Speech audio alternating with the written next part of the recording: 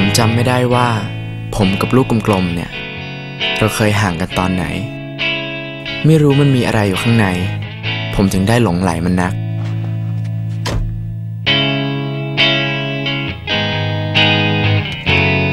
แล้วสนามเล็กๆ ในวันนั้น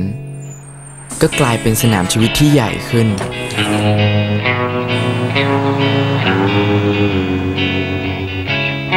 จากความสนุก กลายเป็นสิ่งที่ผมต้องทุ่มเท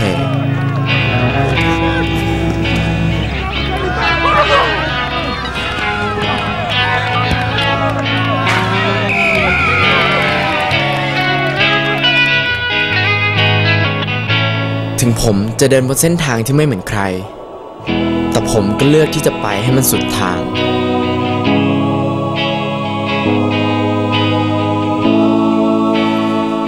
จดหมายฉบับนั้น เป็นเหมือนรางวัลที่ผมได้มาจากความอิสระที่ได้ทำในสิ่งที่ผมรัก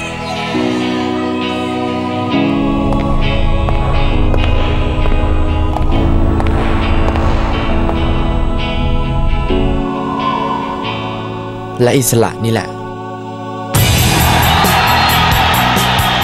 ทำให้จุดหมายชีวิตไม่ไกลเกินไปถึง One to Call สนับสนุนทุกความคิดอิสระของคนยุคนี้